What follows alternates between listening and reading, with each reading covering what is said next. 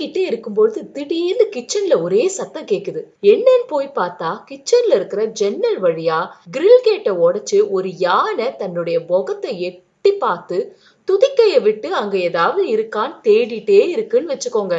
அங்க அந்த வீட்ல இருந்தா நமக்கு எப்படி இருக்கும்? இங்க பாருங்களேன் இந்த யானை இப்படிதான் இந்த வீட்ல பண்ணுது. ஒரு ஒரு கபோர்டா திறந்து திறந்து சாப்பாடு இருக்கான்னு தேடி தேடி பாக்குது யானைகள் பொறுத்த வரைக்கும் தன்னுடைய பாட்டி யானை எந்த வழியில நடந்து போகணும்னு சொல்லி கொடுக்குதோ அந்த நடைபாதையை தான் பின்பற்றும். இப்ப காடுகள் எல்லாம் அழிஞ்சு யானைகளோட நடைபாதைகள் எல்லாமே கட்டிடங்களா மாறி போச்சு அப்ப யானைகளுக்கு உணவு பஞ்சம் வரதானே செய்யும்?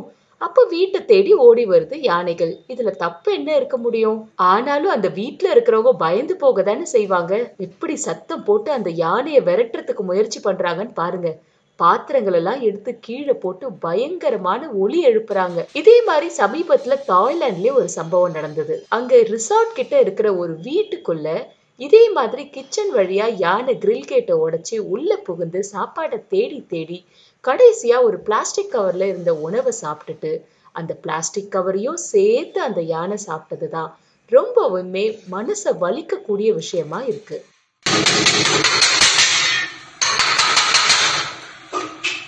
महाराज जी जाओ जाओ जाओ।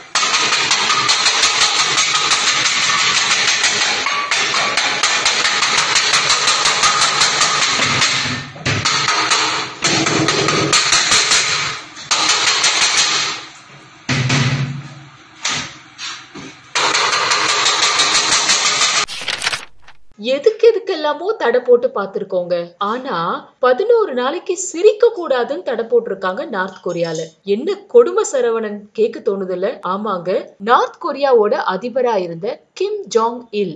இவரு டிசம்பர் பதினேழு ரெண்டாயிரத்தி பதினொன்னுல இறந்திருக்காரு. அவர் இறந்து பத்து ஆண்டுகள் நிறைவடைந்த நிலையில அந்த துக்கத்தை அனுசரிக்கணும்னு அவருடைய பையன் கிம் ஜோங் உன் எல்லாரையும் சிரிக்க கூடாதுன்னு தடை போட்டிருக்காருங்க. அது மட்டும் இல்ல எந்த விதமான சந்தோஷத்தையும் அடுத்து பதினோரு நாளுக்கு வெளிக்காட்டவே கூடாதான். எந்த பொழுதுபோக்கு அம்சங்களும் மக்களுக்கு கிடையவே கிடையாது. வீட்ல யாராவது இறந்துட்டாங்கன்னா அதுக்கு சத்தம் போட்டு அழக்கூட கூடாதாம் தப்பி தவறி உங்க பிறந்த நாள் இந்த சமயத்துல வந்துச்சுன்னு வச்சுக்கோங்க.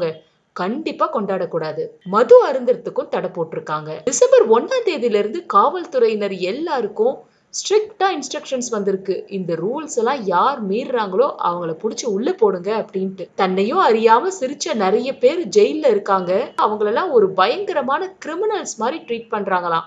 போனவங்க போனவங்க தான். யாருமே இன்னும் திரும்ப வரலன்னு நார்த் கொரியால இருக்கக்கூடிய மக்கள் சங்கடத்தோட சொல்றாங்க. ஐயா சாமி இந்தியா சொர்க்கம்.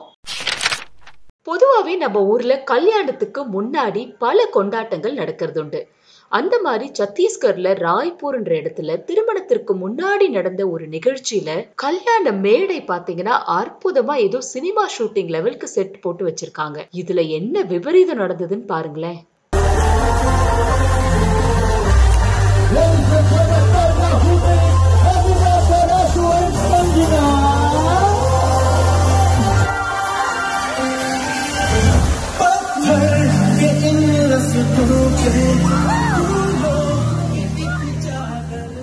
பன்னெண்டு அடி உயரத்துல இருந்து கீழே விழுந்த தம்பதியினர் அதிர்ஷ்டவசமா உயிர் தப்பினாங்க. திருமண கொண்டாட்டங்களை எதுக்குங்க சர்க்கஸ் மாதிரி நடத்தணும்? அண்ணனும் தங்கச்சியும் சேர்ந்து கல்யாணம் பண்ணிட்டு இருக்காங்கன்னா நம்புவீங்களா? அதுவும் இந்தியால உத்தரப்பிரதேஷ் மாநிலத்துல இது நடந்திருக்கு. ஃபிரோசாபாத் மாவட்டத்துல துண்ட்லா பிளாக் டெவலப்மெண்ட் ஆபீஸ்ல கல்யாணம் பல தம்பதிகளுக்கு பண்ணி வச்சிருக்காங்க. சோசியல் வெல்ஃபேர் டிபார்ட்மெண்ட் சார்பா நடந்த இந்த திருமணத்துல முக்கிய மந்திரி சமூக விவாக யோஜனா அப்படிங்கிற திட்டத்தின் கீழே திருமணம் பண்ணிக்கிட்ட தம்பதியினருக்கு இருபதாயிரம் பணமும் பத்தாயிரம் மதிப்புள்ள வீட்டுக்கு தேவையான பொருட்களும் கிஃப்டா கொடுத்துருக்காங்க. இதுக்கு ஆசைப்பட்டு அண்ணனும் தங்கச்சியும் பொய் சொல்லி கல்யாணத்தை பண்ணிட்டு எல்லா சலுகைகளையும் வாங்கிக்கிட்டாங்க. சரி இந்த விஷயம் எப்படி வெளியில தெரிஞ்சதுன்னு பாக்குறீங்களா? அங்க இருக்கிற கிராமப்புற மக்கள் இவங்களை கண்டுபிடிச்சு போட்டு கொடுத்துட்டாங்க. இப்ப துன்லா பிளாக் டெவலப்மெண்ட் ஆபீசர் இவங்க மேல வழக்கு பதிவு பண்ணியிருக்காரு. அட பாவமே ஒரு இருபதாயிரம் ரூபாய் பணத்துக்காக முறையே மாத்திட்டாங்களே களி ரொம்ப முத்திடுச்சு அப்படின்னு நினைக்க தோணுதுல்ல?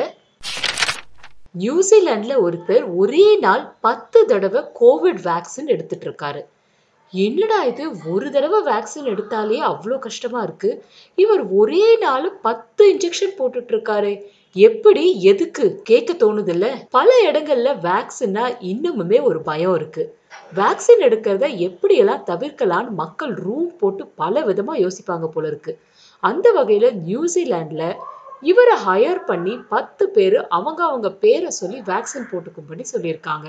அந்த பத்து பேருக்காகவும் இவர் பணத்தை வாங்கிட்டு அவங்க எல்லாரோட பேரையும் சொல்லி வெவ்வேறு வேக்சின் சென்டரில் போய் ஊசியை போட்டுக்கிட்டாரு. இது தெரிய வந்த நியூசிலாந்து அரசாங்கம் ரொம்பவுமே ஆடி போயிருக்கு. நியூசிலாந்துல வேக்சின் போக போகும்போது நம்ம ஊர் மாதிரி ஆதார் கார்டுலாம் காட்டணும்ன்ற அவசியம் இல்லைங்க. எந்த வித ஐடென்டிட்டி ப்ரூஃபும் தேவையில்லையா? அதனாலதான் இவர் இவ்வளவு அழகா இப்படி ஒரு ஃபோர்ஜரியை பண்ணியிருக்காரு. இப்ப ஒரே நாள் பத்து கோவிட் வேக்சின் போட்ட அவருக்கு என்ன ஆகும் அப்படின்றத பத்தி மெடிக்கல் ஃபீல்டுல பலர் பல விதமா கருத்து தெரிவிச்சிருக்காங்க.